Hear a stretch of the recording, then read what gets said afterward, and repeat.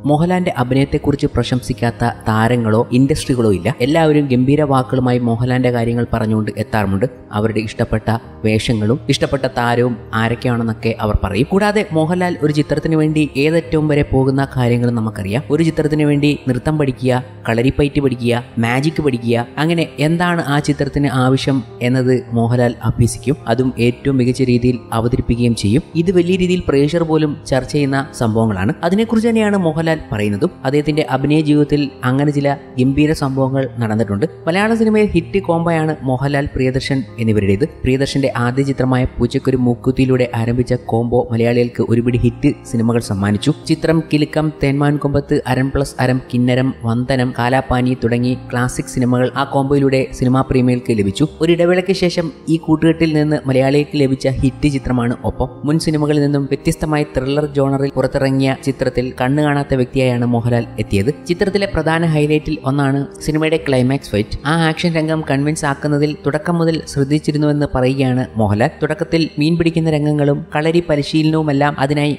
ബോധപൂർവം ഉൾപ്പെടുത്തിയതാണെന്നും മോഹൻലാൽ പറയുന്നു. വ്യത്യസ്തമായ സിനിമകൾ ചെയ്യുമ്പോൾ ആദ്യം നമുക്ക് ചില സംശയങ്ങളുണ്ടാകും. എന്നാൽ യുക്തിപരമായ വിശകലനങ്ങളാകും പലപ്പോഴും തീരുമാനങ്ങളിലേക്ക് എത്തിക്കുന്നത്. ഒപ്പത്തിന്റെ ചിത്രീകരണം ആരംഭിച്ചപ്പോഴും കണ്ണു കാണാത്ത അവിടെയും ഇവിടെയും തപ്പി നടക്കുന്ന നായകനായിരുന്നെങ്കിൽ ആ കഥാപാത്രം വിജയിക്കാതെ പോയേനെ. ക്ലൈമാക്സിലെ സംഘടനം വിശ്വാസയോഗ്യമാക്കാൻ തുടക്കം മുതൽ പല രംഗങ്ങളും കഥയിലേക്ക് കൊണ്ടുവന്നിരുന്നു. നായകന്റെ കുട്ടിക്കാലത്തെ കളരി പരിശീലനവും മീൻപിടുത്തവും എല്ലാം ബോധപൂർവം ഉൾപ്പെടുത്തിയതാണ്. സിനിമയുടെ അണിയറയിൽ അഭിനേതാക്കളെക്കാൾ വെല്ലുവിളി പലപ്പോഴും സംവിധായകർക്കായിരിക്കും. കാഴ്ചാശക്തിയില്ലാത്ത ഒരാളുടെ ഇടപെടലുകൾ വിശ്വസനീയമായ രീതിയിൽ ചിത്രീകരിക്കുക എന്നത് സംവിധായകന്റെ ഉത്തരവാദിത്തമാണ്. അന്തകഥാപാത്രങ്ങളുടെ ലുക്ക് പോയിന്റ് സാധാരണ ഗ്രാമറിൽ ചിത്രീകരിക്കാൻ കഴിയില്ല. മോഹൻലാലിന്റെ വാക്കുകൾ ഇങ്ങനെയായിരുന്നു. അതുപോലെ തന്നെ അഭിനയത്തിൽ വന്നാലും മോഹൻലാൽ വിസ്മയമൊരുക്കിയ സംഭവങ്ങളും ഉണ്ടായിട്ടുണ്ട്. അതിനെക്കുറിച്ച് മോഹൻലാൽ അല്ല പറയുന്നത്. ഒരു എഡിറ്റർ പറഞ്ഞാൽ എങ്ങനെയിരിക്കും കാരണം ആ മൈന്യൂട്ട് കാര്യങ്ങൾ ഏറ്റവും കൂടുതൽ ശ്രദ്ധിക്കുന്നത് ഒരു എഡിറ്റർ തന്നെയാണ്. സ്പോട്ട് എഡിറ്ററായി കരിയർ ആരംഭിച്ച ദുൽഖർ സൽമാൻ ചിത്രം ചാർലിയിലൂടെ സ്വതന്ത്ര എഡിറ്ററായ വ്യക്തിയാണ് ഷമീർ മുഹമ്മദ്. തുടർന്ന് Angamaly diaries Oru Mexican Aparatha villain